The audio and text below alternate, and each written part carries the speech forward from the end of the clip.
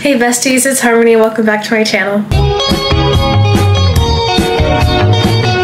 So as you can see in the title, today's video is going to be something different, a really exciting video. Since school is just around the corner for some of you guys, I decided just to give you some advice on high school or if you're going into high school or just if you're gonna be a senior this year I recently just graduated so I just wanted to give you guys some advice let's get into it the first piece of advice that I would give you guys is trying new things. So like I just said, I recently just graduated in August and I'm gonna be a freshman in college, which is so weird. Like, I felt like just yesterday I was a freshman and it was my first day of school and I graduated and now I'm going to college. I'm gonna be a freshman. That's so crazy. It's it's so surreal. This summer has flown by so fast and I'm nervous, but I'm excited.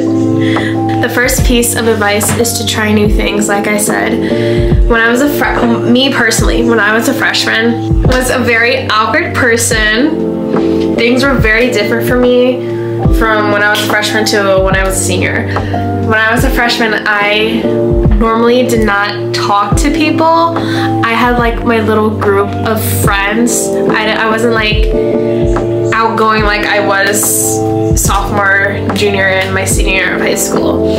So I really didn't try new things. I was more of a antisocial type of person I just thought if I tried new things, then I thought people would judge me for that. And I mostly let people's thoughts get to me, and I normally just stay in the background like my freshman year of high school. Like I said, I tried some things, wasn't as outgoing as some of my other classmates were.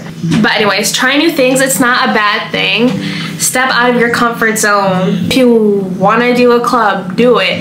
If you want to make your own club, do it.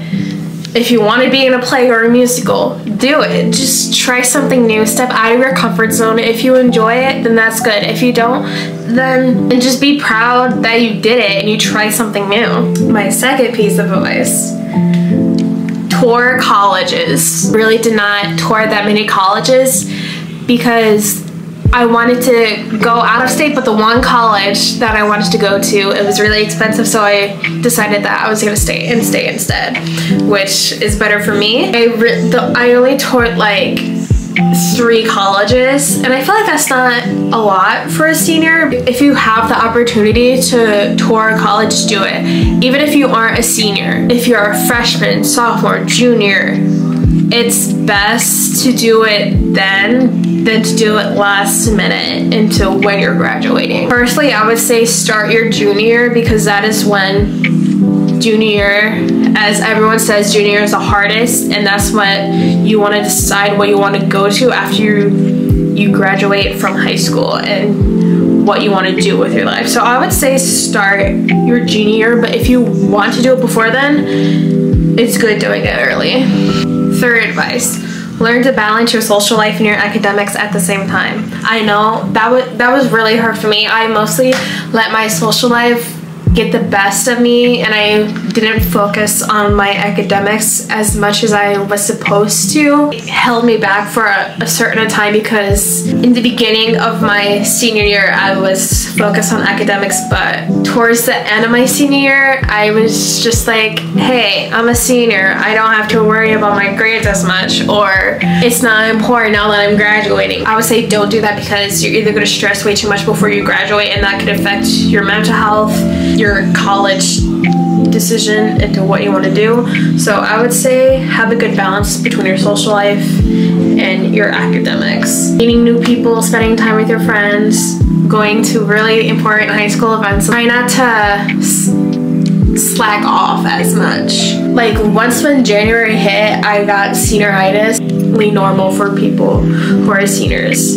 It happens all the time. So step number four is take interesting classes. If your school has more electives, take it. Don't be afraid to step out of your comfort zone. And if that class sounds interesting, then just sign up for it. You can meet new people, it can be good for you, and it can be good for college. Whatever sounds interesting to you, just do it. Don't be afraid. My fifth advice start college applications early. I did not do this. This is this is me talking from personal experience. I did not do this. I waited till last minute. Like I said, start early. Start your college essay early brainstorm topics, different ideas of what you want to write about. It will prioritize yourself more and you won't have to stress as much if you start it early because you should enjoy your senior year it's because it's your last year.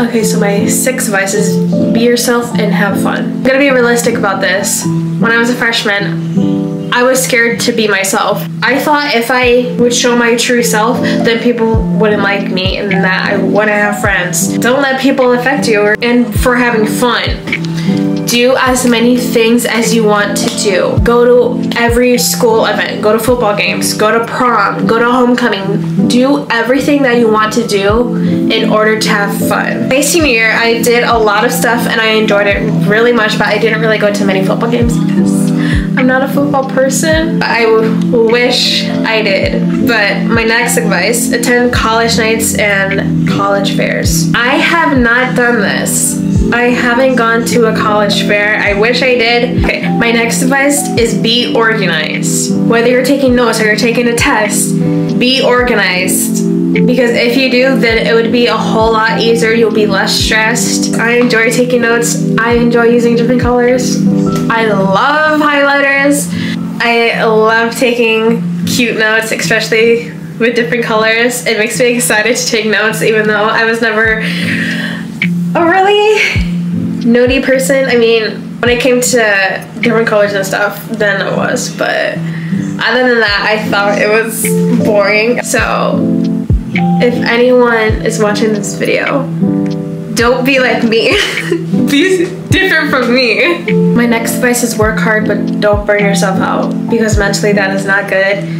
And you should always put yourself first before anything else.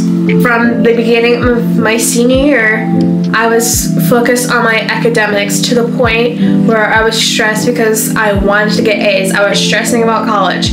I was scared if I didn't have all A's or B's or if I didn't have the perfect grades in general, then colleges wouldn't take me. So I'm talking from experience. Don't stress too much and don't burn yourself out with trying to work hard. Next advice, make sure you pick a good senior quote.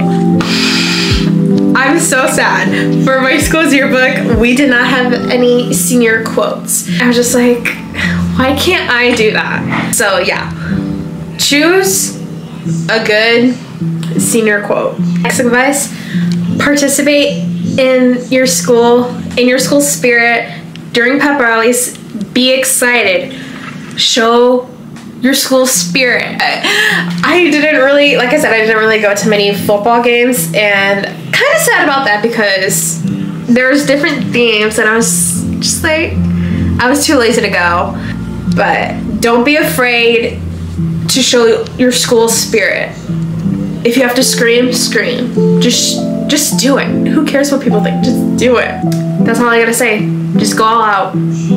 Don't be whack. Next advice. Be a good example for the underclassmen. And I mean this in a good way. Seniors. I get it. I understand. Underclassmen can be annoying sometimes. But you were once them and I was once them and looking back at them when I was a senior, looking back at the little kids, seven and eighth graders, I just thought I was once them.